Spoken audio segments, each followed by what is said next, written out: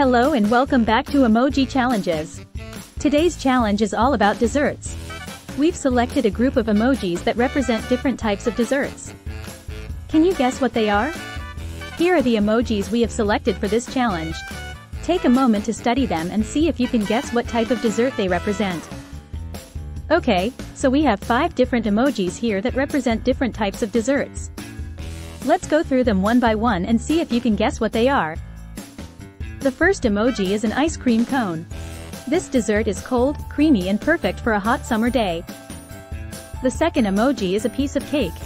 There are many different types of cake, but they all share a soft, fluffy texture and a sweet taste. The third emoji is a chocolate bar.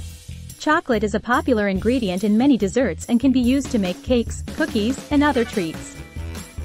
The fourth emoji is a cookie. There are many different types of cookies, from chewy chocolate chip to crunchy peanut butter. And finally, the fifth emoji is a soft serve ice cream. This dessert is similar to regular ice cream, but it has a lighter, fluffier texture. So, to recap, we have an ice cream cone, a piece of cake, a chocolate bar, a cookie, and a soft serve ice cream. Can you guess what type of desserts these emojis represent? The answers are ice cream, cake, chocolate, cookie, and soft serve ice cream. Did you get them all right? Let us know in the comments. That's all for today folks. Thanks for playing. See you next time.